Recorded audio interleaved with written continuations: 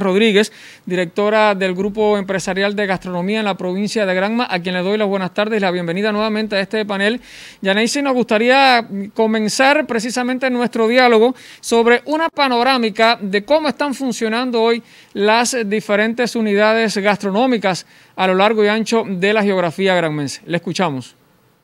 Sí, muy buenas tardes a usted y a todo el pueblo de Granma. En el caso del sector del comercio y la gastronomía,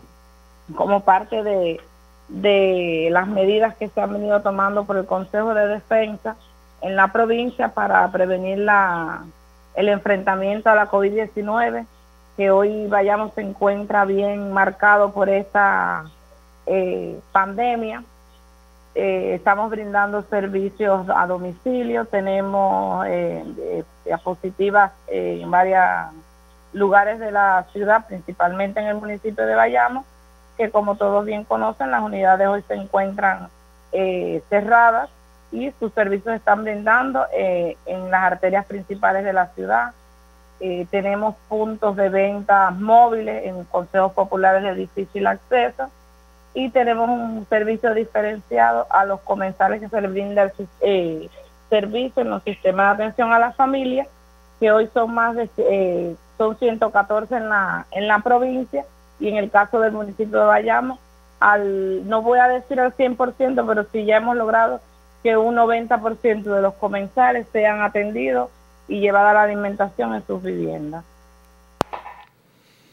¿Cuáles son, Janice, las estrategias específicamente para este sector vulnerable que hoy se beneficia con el sistema de atención a la familia para que estas personas no se muevan? Fueron una de las medidas precisamente que se adoptó eh, por el Consejo de Defensa, o mejor dicho, por el Grupo Temporal eh, de Trabajo para evitar la movilidad de estas personas. ¿Quiénes hoy asumen la responsabilidad de llevarle la, la comida hasta, hasta los propios hogares a este tipo de personas?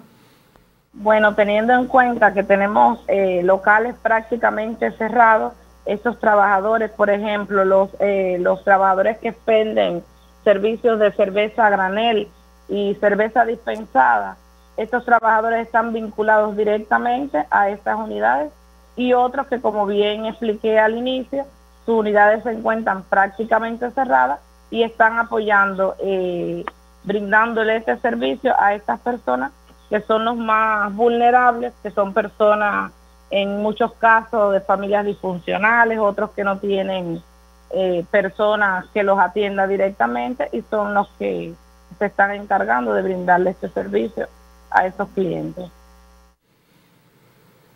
Yaneisi, también quisiera eh, que nos explicara un tanto sobre el funcionamiento de los restaurantes. Si bien han cerrado las puertas, las puertas, perdón, para atender al público de manera presencial, sin embargo, pues se han abierto otras para hacerlo de manera a domicilio y también eh, dentro de la propia entidad, pero con la modalidad de comida para llevar. En este sentido, eh, ¿cuál es el avance que han tenido los restaurantes de la provincia?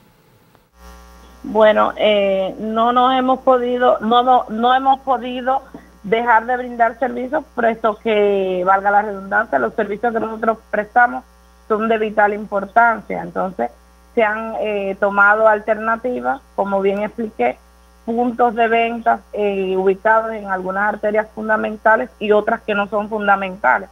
Pero en definitiva, están brindando, prestando servicios a la población por, le pongo un ejemplo, en el parque de, la emulación eh, tenemos ahí vinculados dos restaurantes, cafeterías, o sea, estamos mezclando los servicios para que los clientes puedan eh,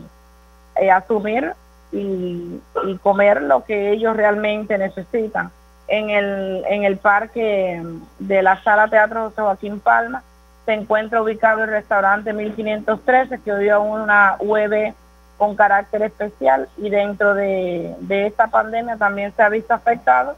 y ha tenido que mover sus servicios, además de hacerlo eh, a domicilio. Si un cliente desea que, por ejemplo, el 1513 o el Guajiro Natural o la Cubana, que son las tres UV que tenemos ahora de carácter especial, le brinden un servicio, eh, usted puede llamar a los teléfonos de estas unidades y lo que usted quiera, una pista familiar en el caso de la cubana, eh, un espagueti, una lasaña, un pollo, un arroz, en definitiva, lo que usted desee, este servicio se le puede llevar hasta, hasta su hogar. Y así están el resto de los restaurantes que están bien limitados con la, con la prestación de los servicios en las unidades. Bien, gracias a Yanesi Espinosa Rodríguez, directora de gastronomía en el Grupo Empresarial de Comercio y Gastronomía en nuestra provincia. Tiempo de pausa en nuestra conversación.